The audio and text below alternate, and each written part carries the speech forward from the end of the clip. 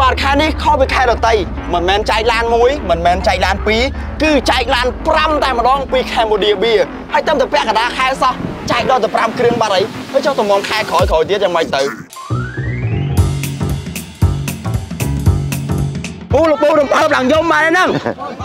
ជម្រាបសួរលោកពូជំរាបសួរលោកពូមានឈ្មោះអ្វីដែរសួនសារ៉េតអឺទីលំនៅអាស័យដ្ឋាននៅណាដែរនៅភូមិព្រៃព្រាលឃុំព្រៃស្វាយស្រុកមុងរស័យខេត្តបាត់ដំបង លោកពូអឺកម្មវិធីអ្វីដែរបានជាជាស្រាបៀរកម្ពុជាមកពិសាហើយឈ្នះរង្វាន់បែបនេះទិញមកយកមកហូបក្នុងផ្ទះបាទទិញប្រហែលដែរពូទិញ7កំប៉ុង7កំប៉ុងបាទទិញមុន4កំប៉ុងមុនក៏កំអត់ប៉ុងត្រូវក៏អត់ត្រូវបាទដូរអឺរង្វាន់3កំប៉ុងថែមទៀតបាទក៏ត្រូវរង្វាន់ចុងក្រោយ3កំប៉ុងមើលមកអត់ថា3កំប៉ុងទេបាទកោះទី1កោះទី2កោះទីបាទ3ឡានបណ្ដោយឡានកោះផាច់មើលអត់រង្វាន់បាទ ហើយពេលដែលឃើញ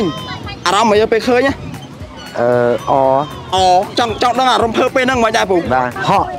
លោតជើងពីរមកឥឡូវឥឡូវសំដែងមួយខ្ញុំតិចមកបាទភិកអូនសិនបាទអីគេនោះអីគេនោះឡាន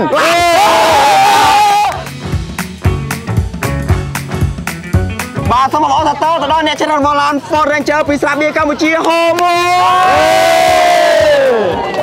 សូមអញ្ជើញបងម្ចាស់ដេប៉ូនៅស្រុកមុនរិស័យបាទសូមអញ្ជើញដើម្បីប្រកួតរង្វាន់ជួនទៅទៀតជួនមហាសំណាង